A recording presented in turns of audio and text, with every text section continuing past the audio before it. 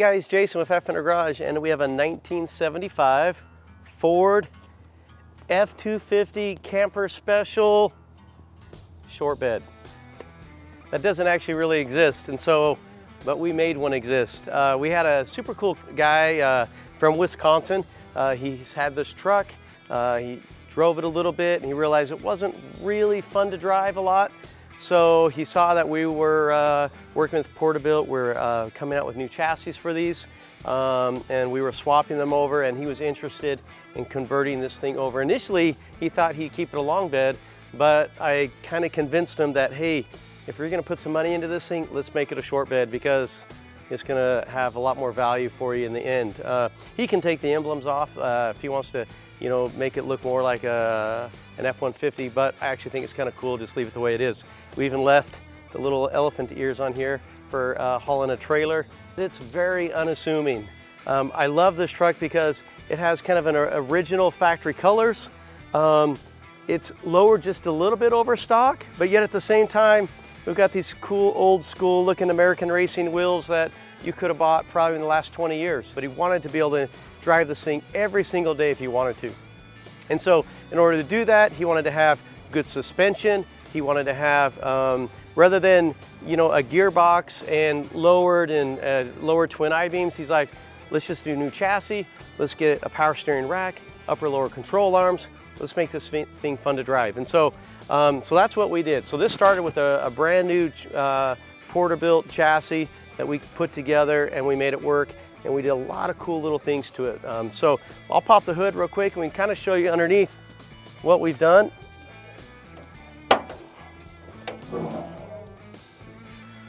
So right here is a brand new Gen 3 10-speed automatic uh, crate motor from Ford Racing.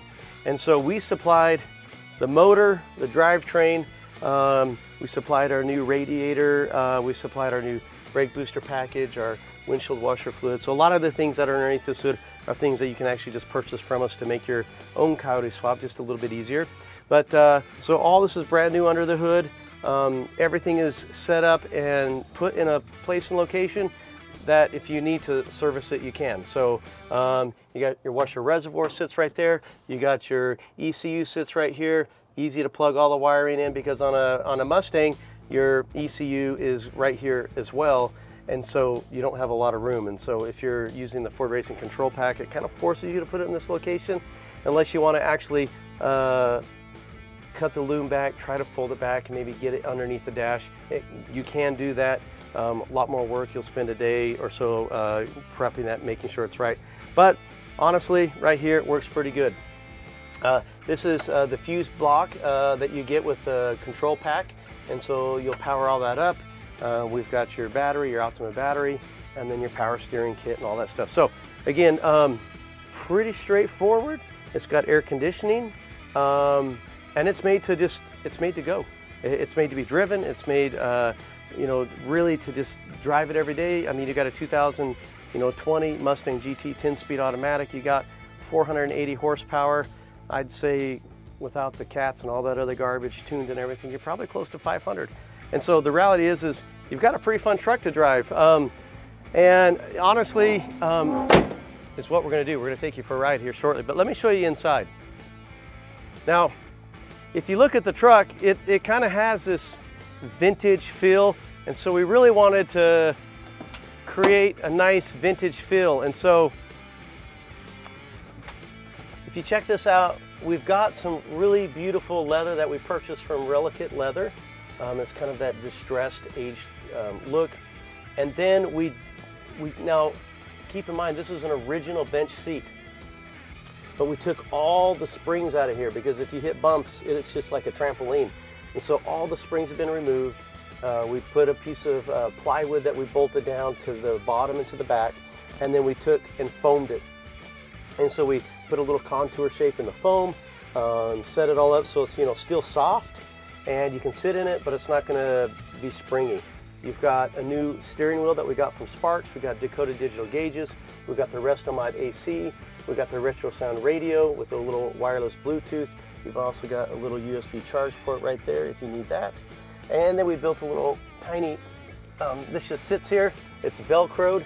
but it's just a console that we just designed and put right there so he could have uh, drinks and set his phone right there and have a little bit of uh, storage. And uh, it's removable if he wants to take it out. If he needs to have someone else sit in here, he can. And so um, new kick panels. We do have um, right here. You've got uh, in the door. You've got some six and a half inch uh, Focal speakers. And then I think we can show this behind the seat.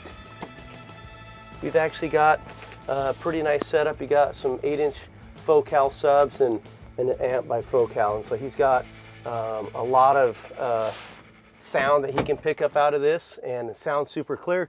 Uh, it's Focal, it's a super good brand. Um, and that's basically, you know, as we're trying to build these trucks, we want to make sure that it's, it's clean, it has a good, good sound system in it, but also a clean sound system. Nothing, nothing too um, cheap. Uh, people really don't want that cheap sound. They just want good quality sound. We got a good dash pad that we've actually taken and wrapped. We actually put some uh, French seam stitching right on the top there. And honestly, it feels like there's a, not, a lot going on here, but there's so much that's been done to make this truck what it is. But really what we're shooting for is just something that feels uh, more restrained, nothing over the top. It's um, simple, clean, and um, very easy to just look at and say, oh yeah, this is a nice truck, and not feel like, like oh my gosh, look at all that stuff they did. It's crazy, it's over the top. So um, you've got uh, the Fat Fender Garage LED light, and of course we put a little bit of the diamond stitching up here, and we matched the sun visors as well. And uh, you know, pretty cool. Let me show you about uh, the bed a little bit. So if you look at this bed, this was a long bed and we actually left the back the same. This is the section that was cut and this section back here was trimmed on this corner and cut and curled back over and then this was all welded back on. So the, the amount of work that had to be done was pretty straightforward and simple. Um, a little bit of paint touch, touch up was done, but um, very minimal we want to basically at this point, um, you know, take a look at the truck and uh, most importantly, I think, I think we should go for a drive. I think that's the best part about it.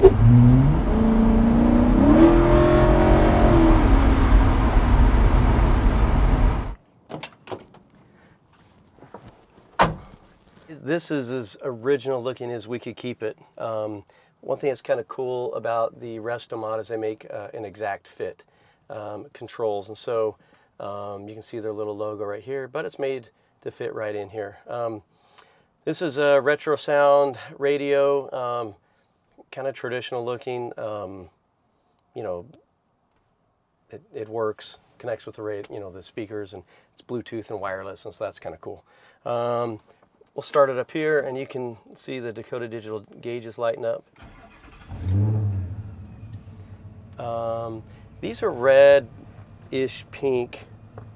You can actually make them any color you want. I guess a little bit orangish looking, I guess, but you you can change it to any color you want.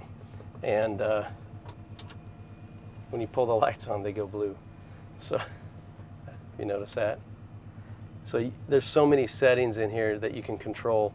And the cool thing about it is you just do it on uh, your phone, just an app, and you just change all the all the colors. And so anyways, um, so we're gonna go for a drive. Uh, I guess maybe I should buckle up. Safety first, right? All right, let's go for a little cruise.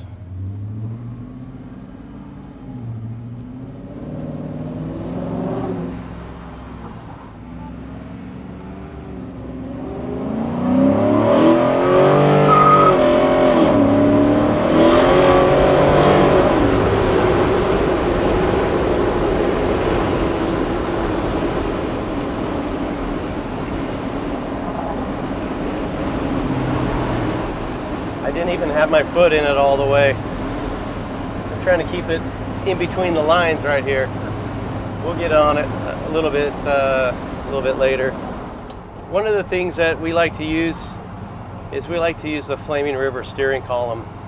Um, if you notice, we don't have an indicator on here, and it's because we choose to uh, use the Dakota Digital, and it tells us right here what gear we're in. oftentimes there's a little bit of conflict when you try to put the indicator on your column um, and work it on the dash. It's a little bit of a conflict. They don't always jive, and so just get rid of it on the column, and it's a little bit better. But you, it's it's very responsive if you saw that. So we're using a brake booster and a master cylinder to stop, but you can get 12, 13, 14 inch rotors.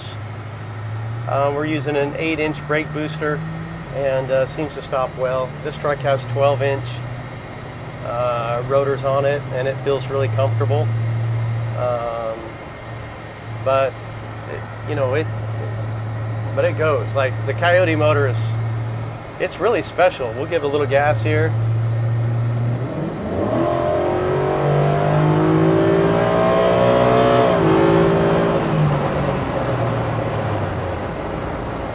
Notice as we're going over these bumps that if I was in a regular bench seat, I'd just be like bouncing up and down. It'd be crazy. Um, but it's it's pretty smooth. Now we are riding on coilovers, and so you're going to have a little stiffer feeling. Uh, we do make the same uh, chassis setup lower, and you'll be about six inches off the ground. And then we also make it with air ride, and you can let all the air out and lay frame. Um, the air ride actually is a little bit more comfortable ride. It's a little smoother because you are on air. Um, it does take away some of the extra uh, bounciness that you might feel in a coilover, but um, it's also more a little more finicky because you got to worry about airlines and and making sure they don't leak, and uh, you always got to have air uh, all the time. This you don't need air; you can just get in it and go. So it's pretty fun. We have, uh, oh, I think we're 1,200 miles on this truck. We uh, like to put about a thousand miles. We try to get to a thousand miles um, and make sure that we feel really comfortable with it. He flew out here from Wisconsin, where he's from, and he drove the truck for a couple days. He made a little list of stuff that, um, in his opinion, that he'd like to just have taken care of. Um, touch up paint on a few things and whatnot, but it's very easy to drive. Like I, I can drive it with one finger. One of the other things we like with this column is that the cone on these is two inches shorter than a Dakota Digital. So allows us to kind of create some space. So I can feel like I'm, I'm not, you know, I, if it's two inches closer, I'd be driving it more like this. And so it just gives the, you know, pushing your steering wheel away and just feeling like it's not up in your chest. Uh, the Flaming River really helps with that. Um, not that Dakota builds a bad product, it's just the design of their product actually uh, just has a bigger cone. So this is just one of the reasons why we pick what we pick. Um, we'll do a little bit of a burnout right here. We won't do a big one, um, but just to kind of give an idea of um, uh, what what the truck feels like from kind of a standing. Um, we'll just kind of roll and go, but uh, we want we'll turn the AC off so we can actually uh, hear the motor and whatnot. So, uh, all right.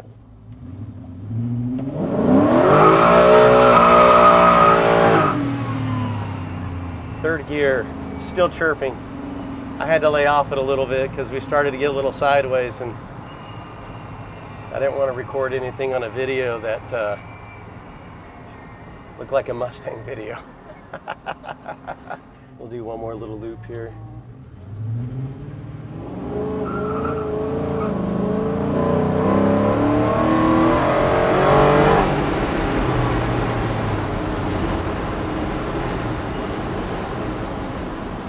Our little speed bump they put in the road there. It keeps you from going too fast on that road.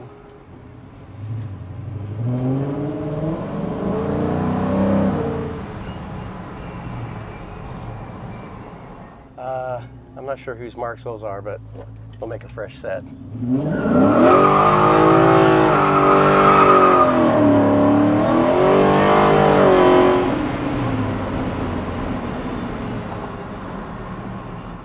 I can't keep the pedal down all the way.